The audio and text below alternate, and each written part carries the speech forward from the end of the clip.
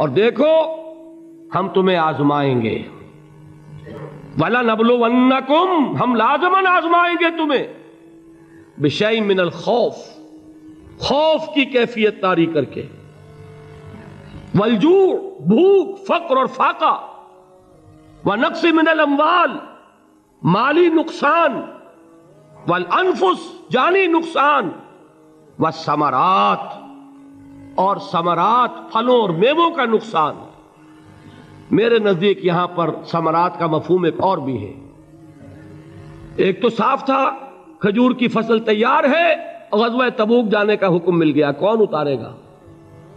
और खजूर वक्त पर उतरी नहीं, बर्बाद हो जाएगी। ये हो रहा है ना मेवों का नुकसान। और मेरे नज़दीक यहाँ यह भी है, बसा औकात बहुत सी मेहनतों का नतीजा इंसान देखता है कि जाय चला गया। मैंने दस साल मेहनत की, हासिल कोई नहीं निकला। ये समरात क्या है? मेहनतें। मेहनतों के समरात का जया।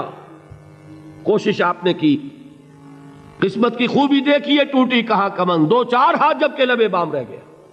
बी प्रिपेयर्ड एक शायर के ये अशार हैं। वो कम्युनिस्ट था, मैं नाम भी नहीं लेता। लेकिन यह कि ये इसी इनकलाबी, चूँकि उनका भी एक इनकलाबी नज़रिया है। इनकलाबी अमल में ये सारे मराहल आते हैं। कोई सेटबैक आया, फ़र्ज़ कीजिए, कोई नाकामी हो गई तो अपने साथियों को दिल बधाने के लिए ये फ़सल उम्मीदों की हमदम, इस बार भी गारत जाएगी। सब मेहनत सुबह शामों की, अब के भी अकारत जाएगी। मेरे नदी के समरात का जो लफ्ज यहाँ आया है मनक्स मिन अम्बाल वल अनफुस समरात सब मेहनत सुबह शामों की, अब के भी अकारत जाएगी। धरती के कोनों खदरों में फिर अपने लहू की खाद भरो। फिर मिट्टी सेंचो अशकों से, फिर अगली रुत की फ़िक्र करो। फिर अगली रुत की फ़िक्र करो जब फिर एक बार उजड़ना है। एक फ़सल पकी तो भर पाया, तब तक तो यही कुछ करना है। एक मकसद है सामने, इनकलाब बर्पा करना है। एक कोशिश नाकाम हो जाए, कोई परवाह नहीं। नेक्स्ट फिर तैयार रहो नाकामी के लिए, ऐसा ना हो। जो अंग्रेज़ी में कहते हैं for the best, but be prepared for the worst. ऐसा ना हो कि दूसरी मरतबा नाकाम हो के बददिल हो जाओ। तुम्हारी हिम्मतें जवाब दे जाए। नहीं, पहले से तैयार रहो कि दूसरी मरतबा भी नाकामी आए तो आए। लेकिन जब तक के कामयाबी हासिल नहीं होती, हमें यह काम किए चले जाना देखिए, सीरत में आया कि नहीं ये वाकया? बदर में मुसलमानों को फतह हुई तो ओहद में जक पहुँची के नहीं? सत्तर साहबा शहीद हुए कि नहीं? अगर उनकी हिम्मतें जवाब दे जाती तो गाड़ी कैसे चलती आगे? तो फरमाया वला बिशैइन मिनल खौफे वल जूए व नक्सिम मिनल अमवाले वल अनफुस व समरात. हम तुम्हें लाजमन आजमाएँगे खौफ की कैफियत से, फक्र फाके की कैफियत से, भूख से जान के नुकसान से, माल के नुकसान से, मेहनतों के हासिल के जाय हो जाने से। बशर साबरीन। और नबी, बशारत दीजिए सब्र करने वालों को। अल्लजीन असाबत हम मुसीबत वो कि जब उन पर कोई तकलीफ़ आए, कोई मुसीबत आए, कोई आजमाइश आए आलू इन्ना व इन्ना राजिऊन। वो ये कहे कि हम अल्लाह ही के हैं, अल्लाह ही की तरफ़ लौट जाना है। ये वही अंदाज है जो मैंने फारसी का शेर सुनाया था आपको, कि सरे तस्लीम खम है जो मिजाज यार में आए। वो हमारा मौला है, हमारा आका है। अगर उसे यही मंजूर है तो हमें भी यही मंजूर है। मैंने तस्लीम और रजा की बात की थी ना, आपको कुछ शेर सुनाए थे। एक शेर और सुनिए, और ये किसका है? मोहम्मद अली जौहर का। एक मरतबा जेल गए उनकी एक बेटी जवान बीमार हुई, फौत हो गई। बाहर छोड़ा अंग्रेज़ ने, जाओ भाई दफन कर दो बेटी को। दूसरी मरतबा जेल गए, दूसरी जवान बेटी उसी मर्ज में मुबतला हुई। अब यह जेल में है खबर पहुँची कि दूसरी बेटी के ऊपर भी उसी मर्ज का हमला हुआ है। एक नज़म लिखी है जिसका आखिरी शेर यह है, तेरी सेहत हमें मंजूर है लेकिन उसको नहीं मंजूर तो फिर हमको भी मंजूर नहीं। यह है। जब तक यह कैफियत ना हो, इस मैदान में आदमी साबित कदम नहीं रह सकता। कि मेरे रब को अगर ये मंजूर है तो यही मुझे मंजूर है। और तेरी सेहत हमें चाहिए तो ज़रूर, लेकिन हमारे रब को मंजूर नहीं तो हमें भी मंजूर राज़ी बरजाए रब। वबशरी साबरीन अल्लजीन मुसीबतुन। कालू इन्ना न शबद नसीब दुश्मन के, शबद हला के तेगत। सरे दोस्ता सलामत के, तू खंजर आसमाई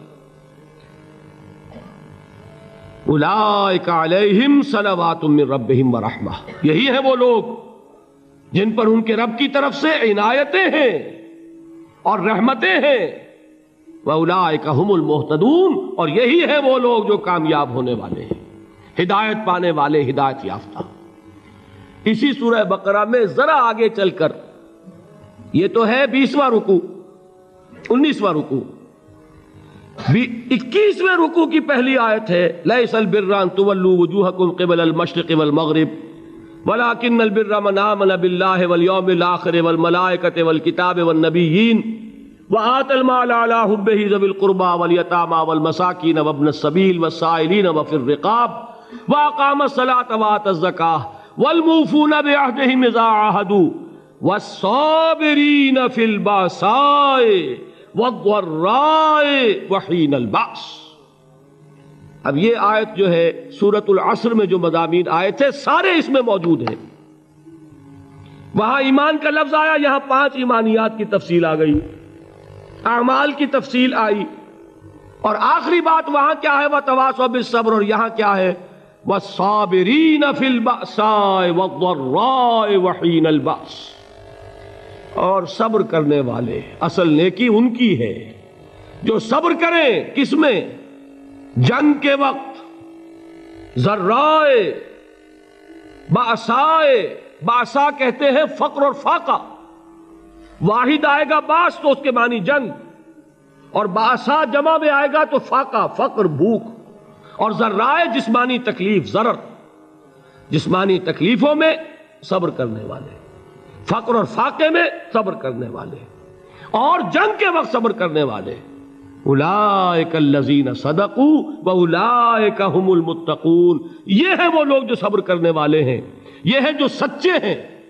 जो अपने दावे में नेकी के और ईमान के साबित हैं।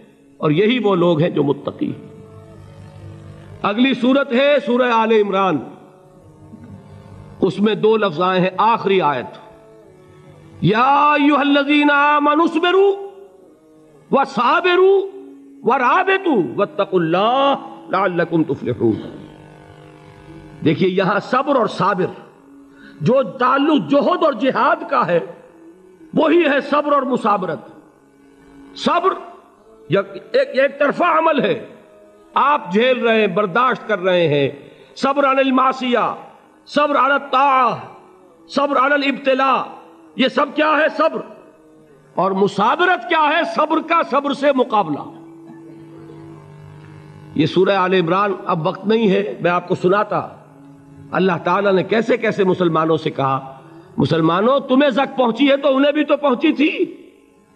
उनके सत्तर नहीं मारे गए थे बद्र में। उनके हौसले जो हैं, वो तो पस्त नहीं हुए, वो अगले साल आ गए तुम पर चढ़ाई करके।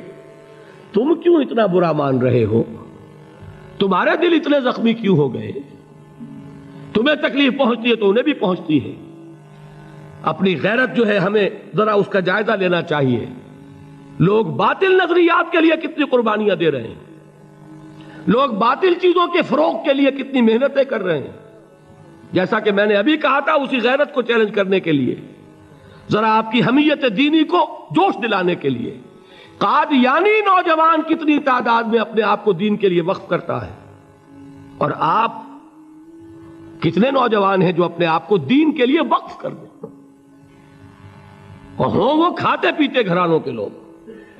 ये नहीं है कि अगर कोई और काम नहीं कर सकता तो फिर यह है कि वो दीन के काम में लग जाए।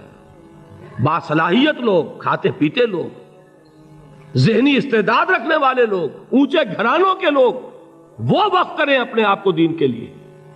उसके बगैर कैसे बाहर आ जाएगी, कैसे रौनक आ जाएगी? तो दुनिया में बातिल नजरियात वाले जो हैं, ये बात कही गई है, मुसलमानों, तुम अगर तोहीद के लिए लड़ रहे हो, देखते नहीं अबू जहल को, उसने गर्दन कटवाई है शिरक के लिए। शिरक के लिए गर्दन कटवाए, और तुम तोहीद के लिए गर्दन कटवाने को तैयार ना हो। उसने गर्दन कटवाई कि नहीं कटवाई? और किस तरह कटवाई है? क्योंकि बड़ा मुतकबिर किस्म का, फिरौन किस्म का शख्स था। जब गर्दन काटने लगे तो कहता है, जरा नीचे से काटना, ताकि जब तुम नेजे के ऊपर चढ़ाओ मेरी, मेरे सर को तो ऊँचा नज़र आए मालूम हो सरदार का सर है। वो बदबक मरते हुए भी जो उसकी ये कैफियत थी ना, उसको जेन में रखिए। तो ये उस लोगों ने कुर्बानियाँ दी, जाने दी। तो फरमाया, अगर तुम उनसे ज़्यादा कुर्बानी नहीं दोगे जो नोट कर लीजिए इसको मुजर्रद अगर हक को गालिब करना अल्लाह के जिम्मे हो तो आने वाहिद में गालिब कर देगा, तुम्हें तकलीफ़ ही देने की ज़रूरत नहीं समझ रहे? क्या अल्लाह के मुकाबले में कोई बातिल की ताकत ठहर सकती है? यह तुम्हारे ईमान का इम्तिहान है। यह तुम्हारे खुलूस की आजमाइश है। यह तुम्हारे इम्तिहान का सबूत दरकार है। कि अल्लाह ताला देखना चाहता है? तुम उसके लिए अपनी जाने कुर्बान करने को तैयार हो कि तुम उसके लिए तलमन दल लगाने को तैयार हो कि नहीं? और ये जान लो कि अगर कुफार और मुशरकिन और मुलहदीन और बातिल नजरियात वाले, वो जो कुछ कुर्बानियाँ अपने बातिल नजरियात के लिए दे रहे हैं, उनसे ज़्यादा अगर तुम नहीं दोगे तो हक गालिब नहीं होगा। उन्होंने जो सब्र किया है अपने बातिल नजरियात पर, अगर तुम उससे ज़्यादा सब्र का सबूत नहीं दोगे, अपने इस हक पर तो हक गालिब नहीं होगा। इसलिए फरमाया, या युहल्लजीना मनुस्बेरू व साबेरू। न सिर्फ़ यह कि सब्र करो, बल्कि सब्र में अपने दुश्मनों से आगे निकलो। उनके सब्र से बढ़कर सब्र करो। वह राबेतू। मुराबता कहते हैं, चौकस रहना, होशियार। पहरा दो। ऐसा ना हो कि दुश्मन जो है, गफलत में तुम्हारे ऊपर कोई हमला जो है कर बैठे। बत्तकुल्ला और अल्लाह का तकवा इख्तियार करो लाल तुफले ताकि तुम फला पाओ।